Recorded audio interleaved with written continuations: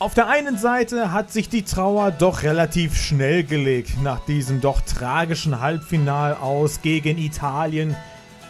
Tragen die Iren doch einen gewissen Stolz mit sich und auf ihre Fußballmannschaft könnte das definitiv sein.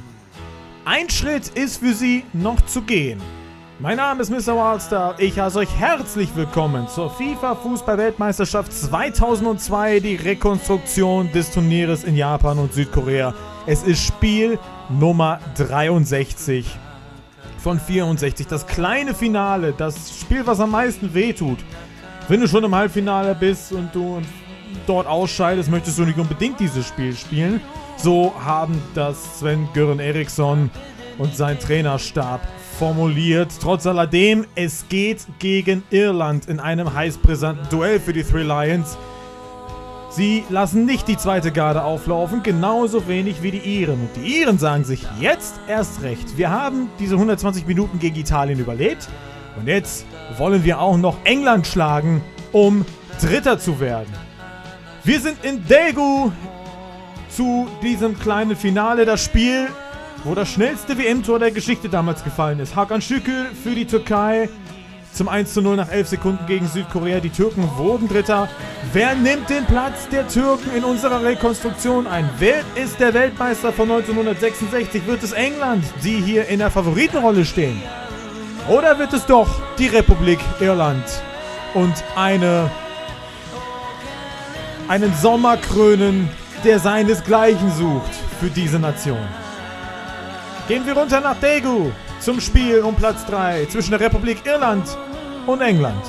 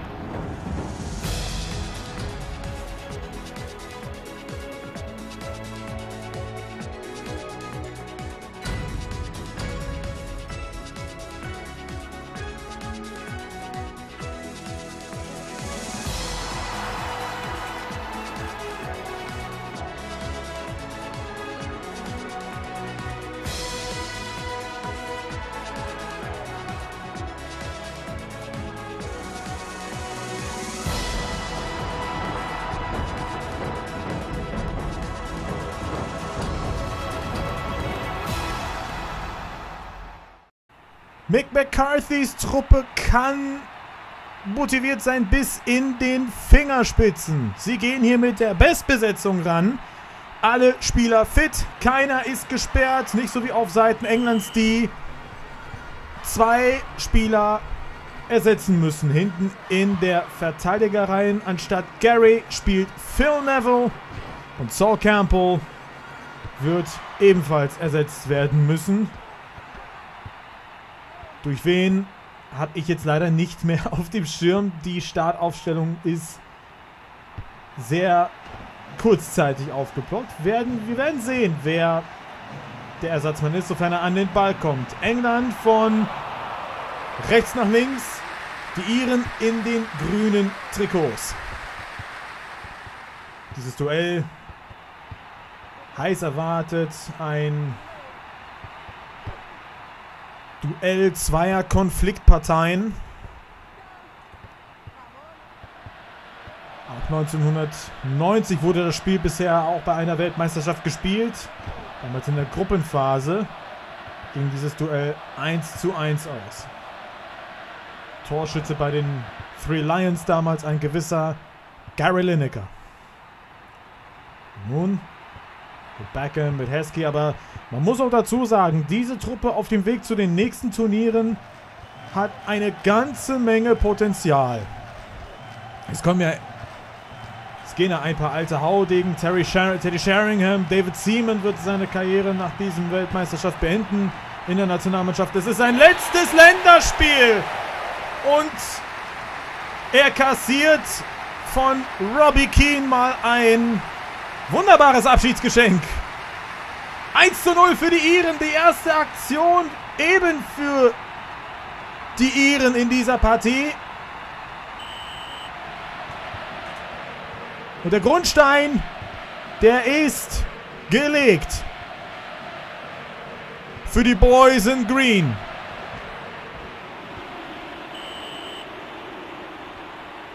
Und da stößt Martin Kuhn, der in der Startelf geblieben ist. Eben für Sol Campbell geblieben ist.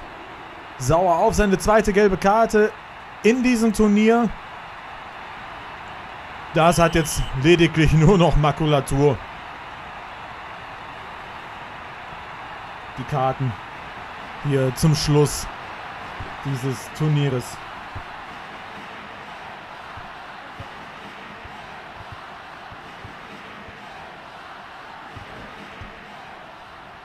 Scholes gegen Breen. Ist ja der Zweikampfsieger Ian Hart. Auf jeden Fall einer der ganz großen Namen, die sich in, bei dieser Weltmeisterschaft aufgetan haben. Für die Iren.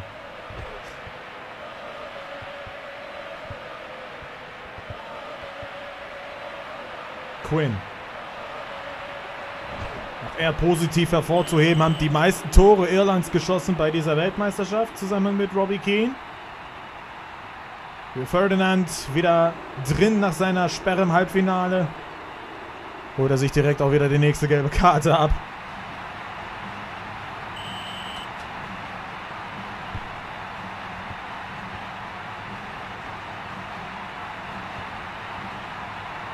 Quinn. Der Ball kommt in den 16er reingeflogen. Kilbane! Und im Zweitgang wieder Robbie Keane. Das ist das 2 zu 0 für Irland.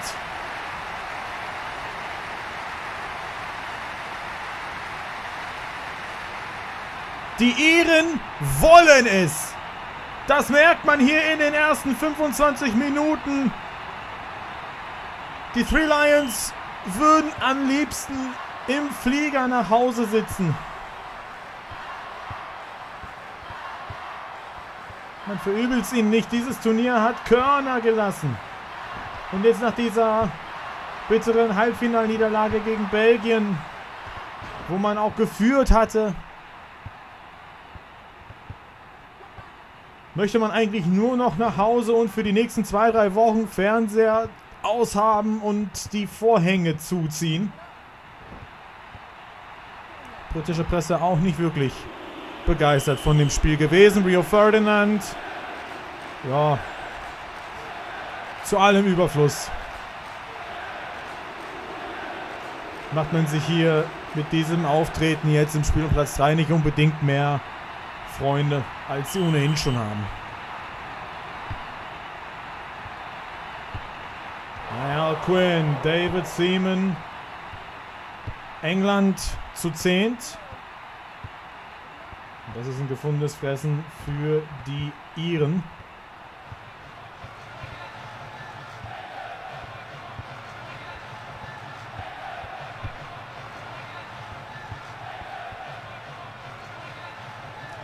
Steve meiner Mann wird der Körper reingestellt von Breen und die Balleroberung für die Republik Irland. Bisheriger größter Erfolg. Einzug im WM-Viertelfinale 1990. Damals an Italien gescheitert, genauso wie in dieser Rekonstruktion, nachdem man 120 Minuten lang in der Defensive Beton angerührt hat.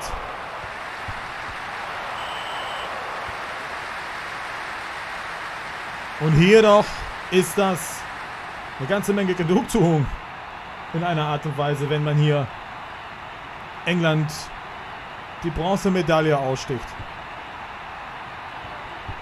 Kelvin! Mal wieder. Dieses Mal allerdings konnten die Iren das entschärfen.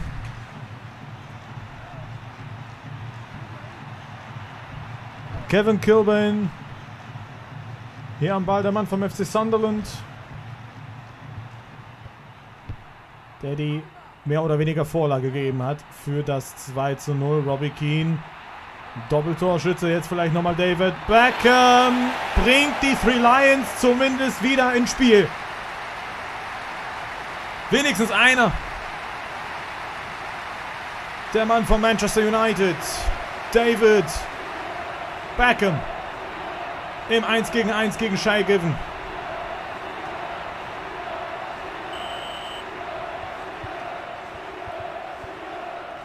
Die Iren haben auch mit einer stabilen Abwehr überzeugt. Das ist erst nur das zweite Gegentor für die Republik Irland bei dieser Weltmeisterschaft.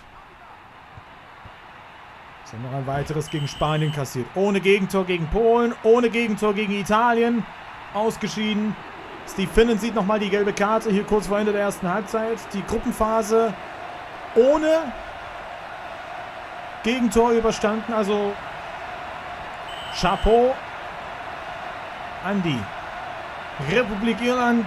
Ein unglaubliches Turnier, was sie hier bis dato gespielt haben. Ja, Scheike, das ist dankbarer Ball für den Torwart. Gehen wir in die Halbzeit und die Führung Irlands nehmen wir mit. Doppeltorschütze Robbie Keane, England mit einem Mann weniger. David Beckham konnte gerade eben noch zumindest die Three Lions wieder in die Spur bringen.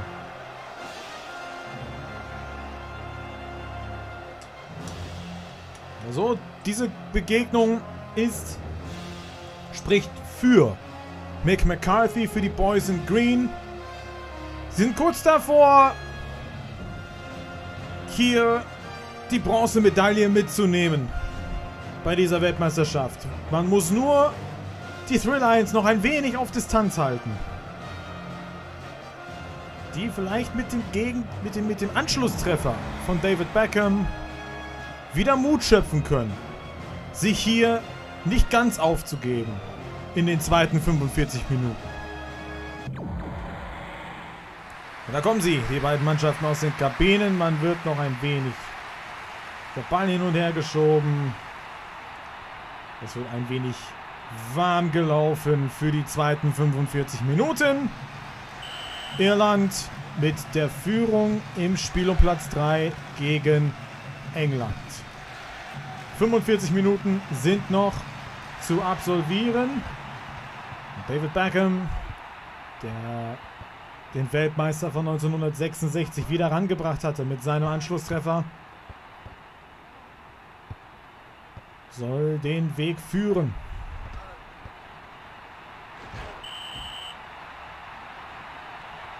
Da Ashley Cole genug. Sieht hier nochmal die gelbe Karte.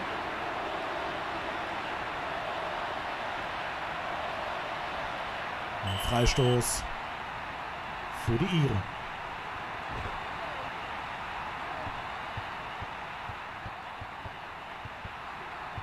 Kevin mit der Balleroberung wird sofort versucht, wieder Robbie Keane einzubinden.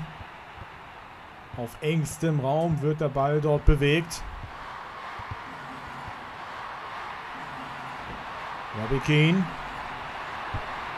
Der ist nicht schlecht, der Ball. Der kommt postwendend zurück. Steven Gerrard kriegt das nicht geklärt. Dann ist Niall Quinn völlig frei.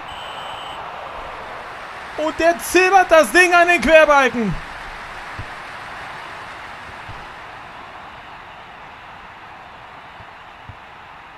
Riesenchance für Irland hier wieder den alten Abstand wiederherzustellen. Und jetzt die Three Lions über Michael Owen.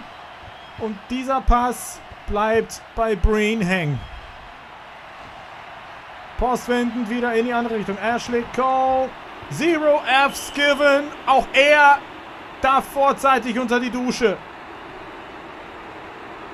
England nur noch mit neun Spielern. Und das sehen wir im Gesicht von Ashley Cole. Er ist nicht begeistert von der Entscheidung. Aber sollte über seine eigene Arbeitsmoral mal nachdenken.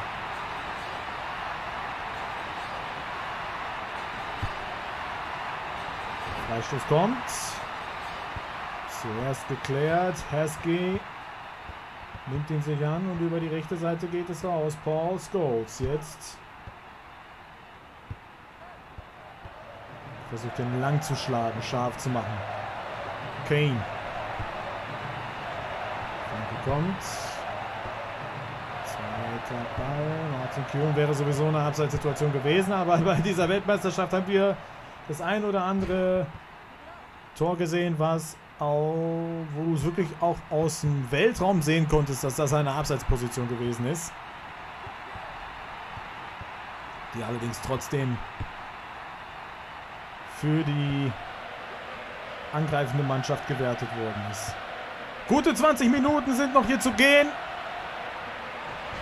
Die Three Lions sitzen da drin, sitzen da hinten drin. David Beckham sieht gelb. Kommen nicht wirklich in die gegnerische Hälfte. Und die zahlreichen Fouls und Nicklichkeiten, die tragen auch nicht wirklich zum gewünschten Ergebnis für die Three Lions bei. Niall Quinn. David Seaman in seinem vermutlich letzten Länderspiel. 38 Jahre alt.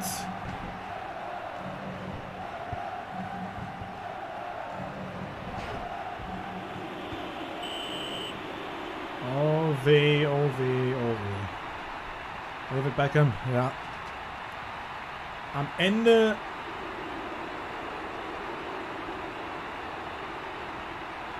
merkt man doch, dass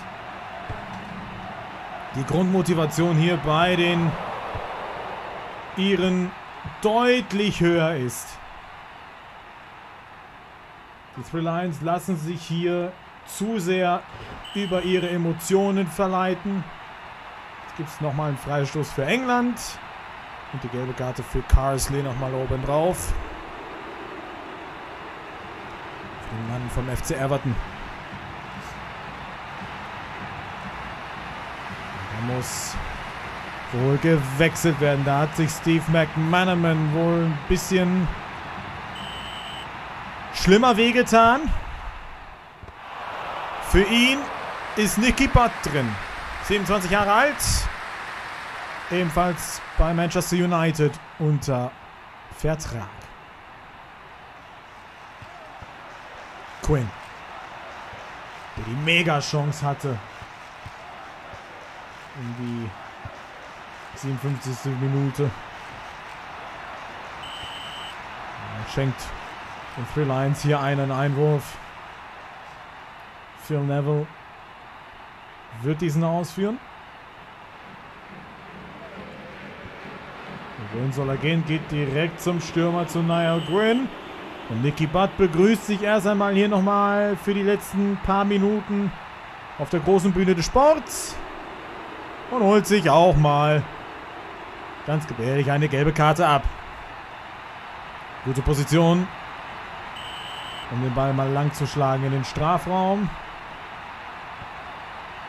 Geht sogar außerhalb.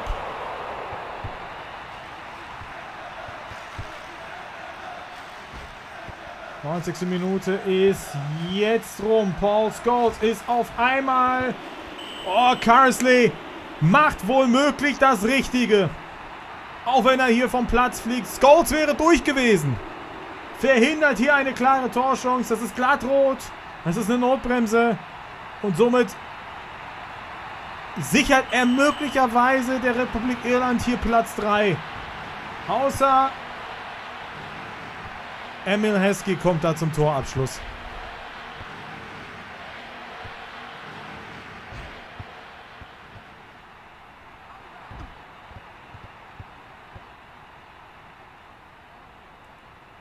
Möglicherweise nochmal eine Chance für die Three Lions. But. Immer noch Bart. Kevin Kilburn sichert die Kohle. Der Schiedsrichter möchte das Ganze hier noch nicht beenden. Holland. Und nochmal. Matt Holland von Ipswich Town.